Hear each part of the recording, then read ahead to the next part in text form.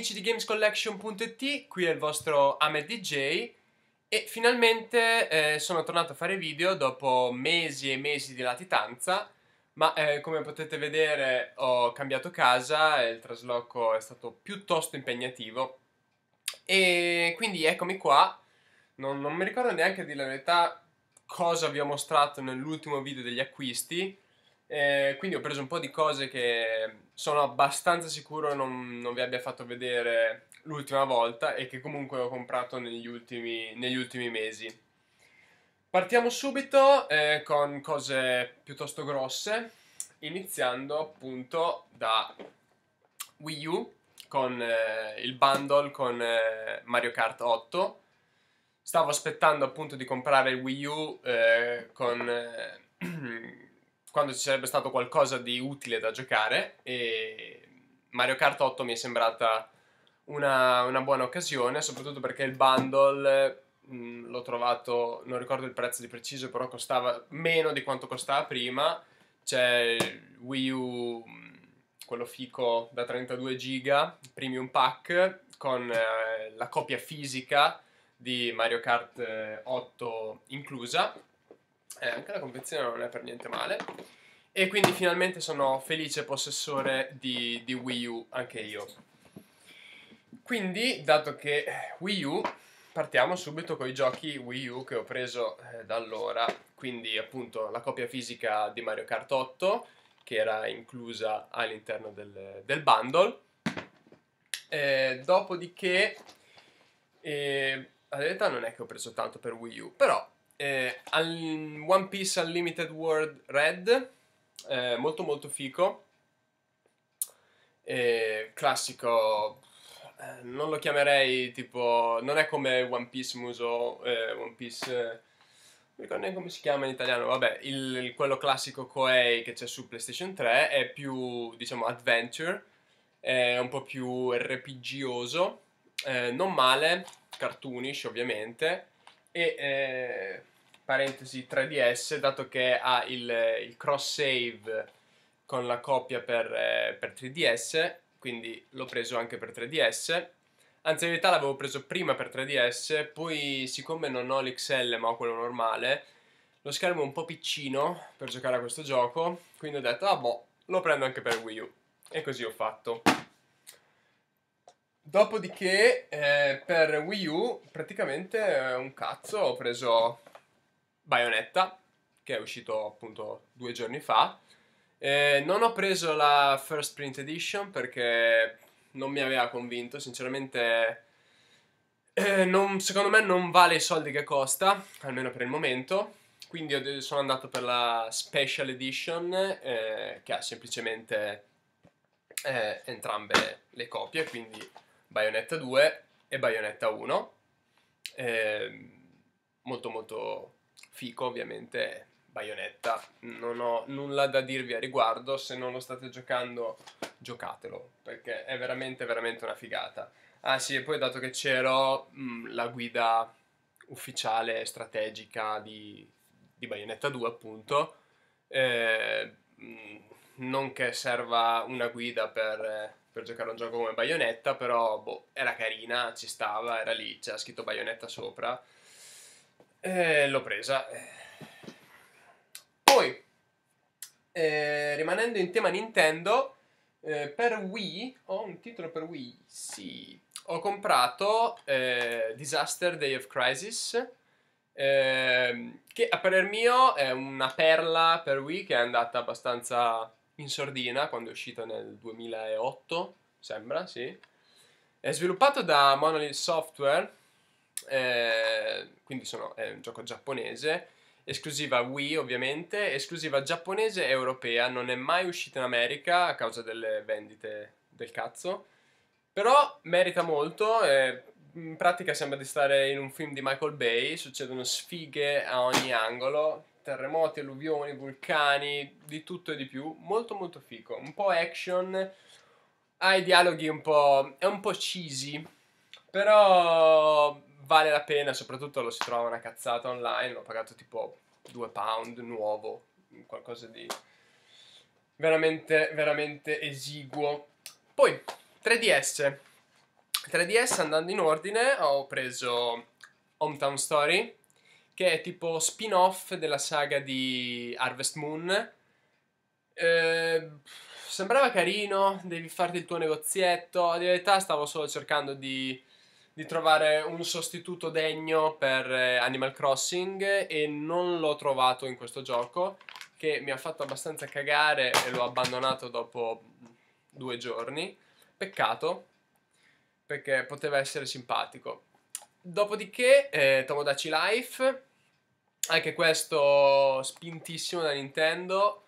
Eh, che gioco è? È un Tamagotchi con i Mi.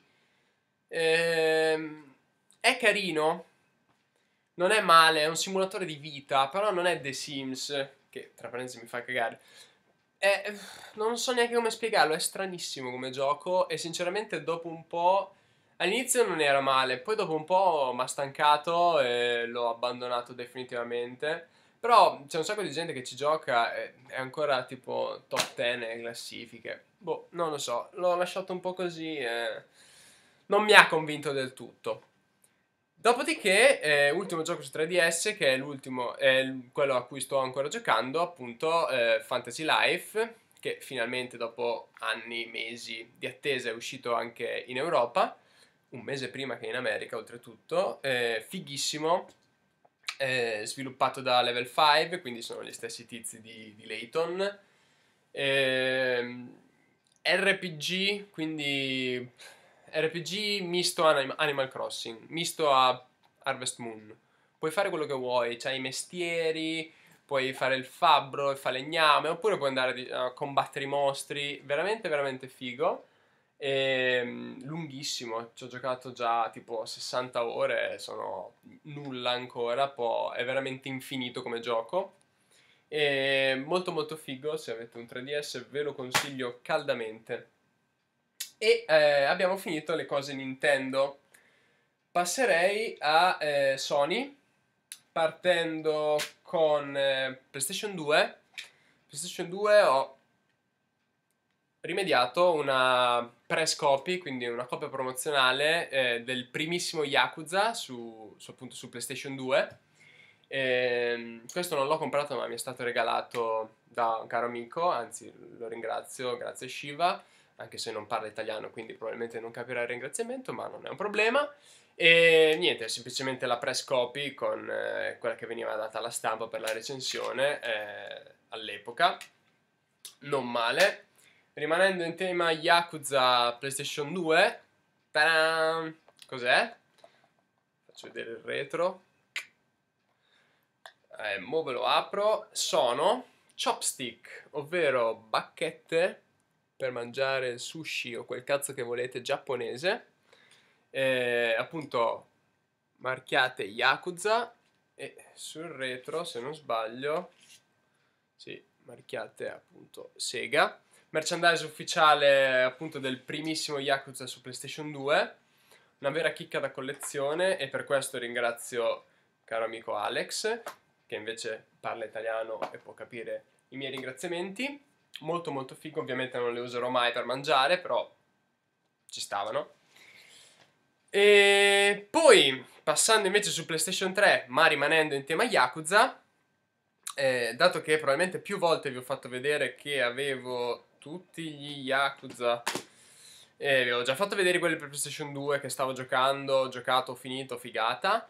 Eh, però quelli su PlayStation 3 li avevo, avevo le copie promozionali che avevo rimediato eh, al lavoro qualche tempo fa. Eh, però le copie promozionali sì, sono fiche, eh, le copie per la stampa, però volevo anche le custodie perché sul sugli scaffali non stanno proprio bene le copie promozionali, sono brutte, piccoline. Quindi ho ricomprato in pratica eh, gli Yakuza usciti, usciti in Europa, quindi eh, Yakuza 3, Yakuza 4 e eh, Yakuza Dead Souls.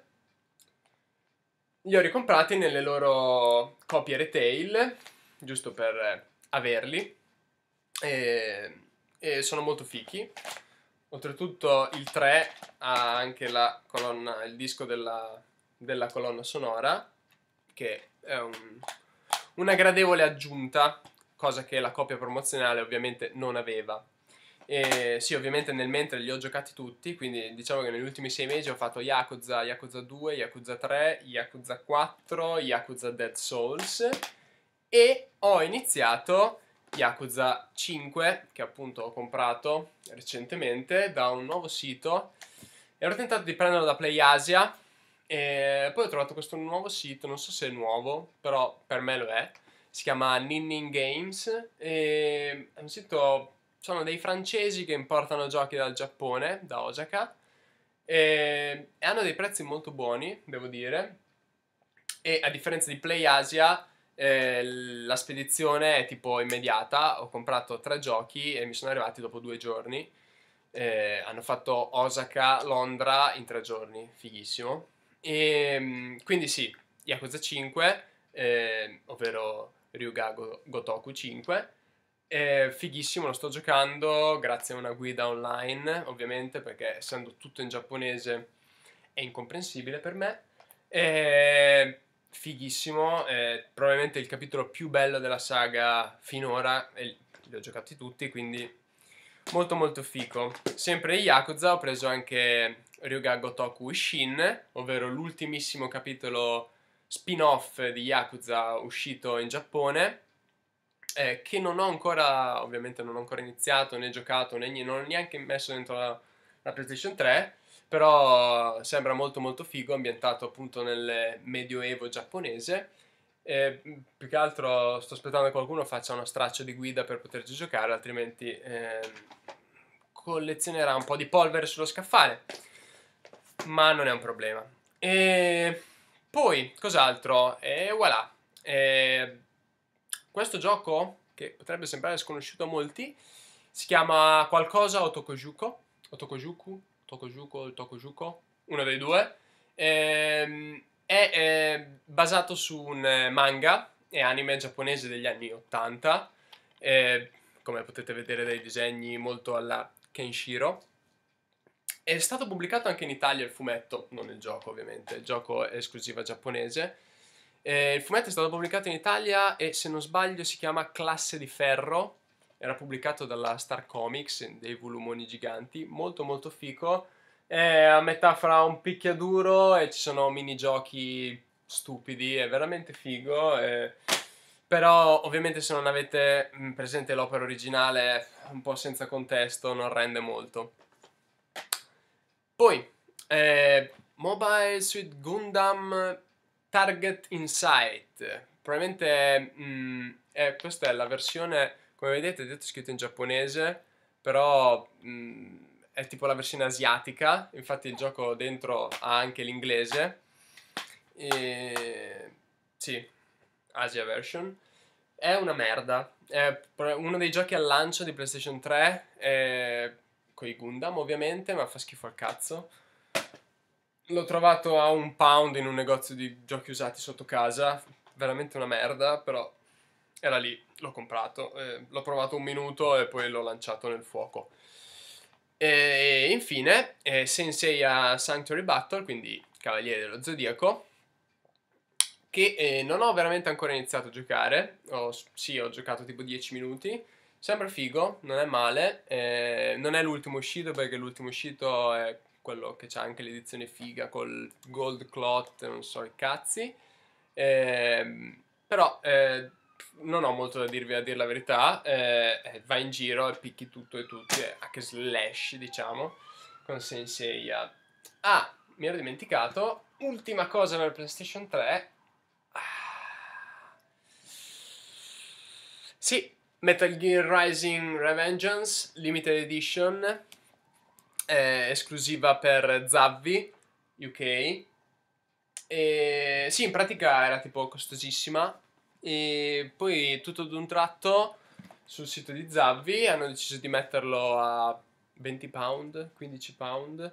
Eh, e tipo le copie sono volate via in un millisecondo. Sono riuscito a prendermene una copia per, per PlayStation 3. Avevo già il gioco su, su, Xbox 360, però l'edizione normale avevo solo preso per, per poterla giocare. e eh, era lì e ho detto vabbè cosa faccio? La lascio lì? Quindi no l'ho presa e mm, non so se penso che abbiamo un unboxing da qualche parte sul nostro canale. Comunque ovviamente c'è il gioco con i DLC e poi c'è l'action figure fighissima di, di Raiden molto molto figa è enorme e per 15 pound veramente ne valeva la pena.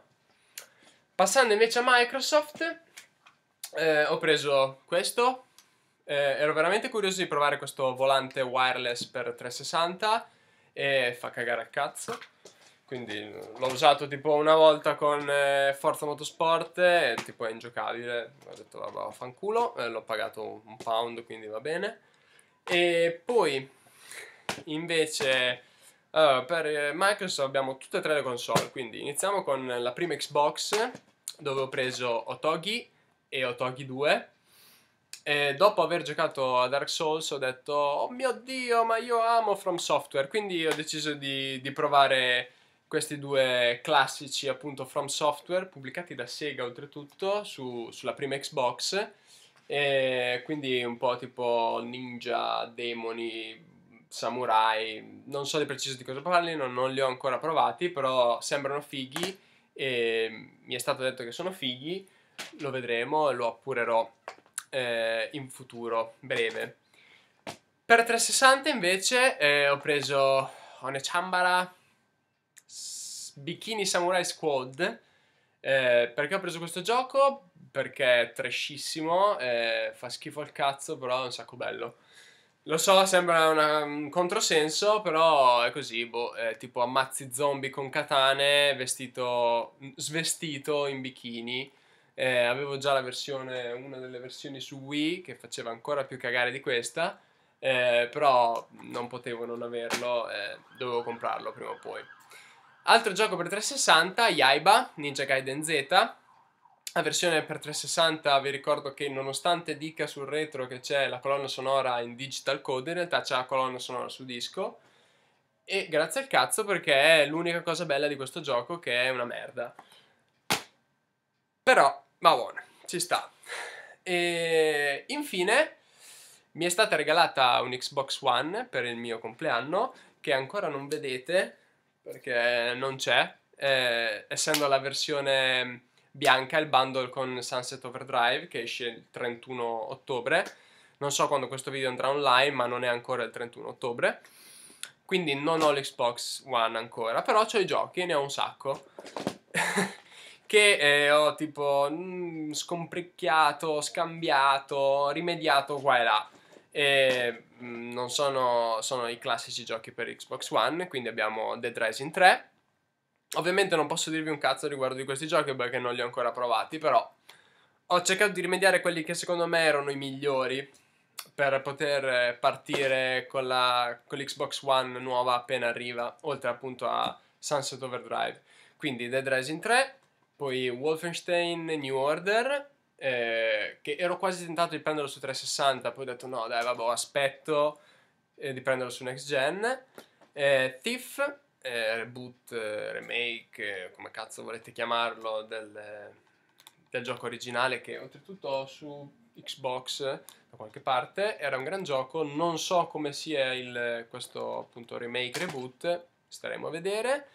E poi Forza Motorsport 5 Day One Edition, ehm, che è il motivo principale per cui eh, volevo un Xbox One, essendo un fanatico della, della serie, della saga di Forza, eh, non vedo l'ora di giocarci. E eh, come ultima cosa, Alien Isolation. Ehm, stiamo a vedere com'è, non mi sbilancio, spero sia fico. E questo direi che è tutto. Non mi sembra di avere nient'altro da, da mostrarvi.